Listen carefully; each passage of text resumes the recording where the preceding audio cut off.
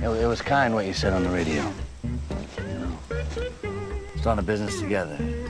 It's like starting a family. Appreciate that. Oh, well, uh, how come then you need me to sign this thing?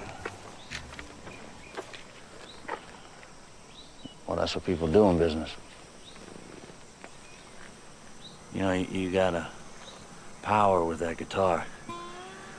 Amazing. You put three women in your bed last night. Yeah, but you married.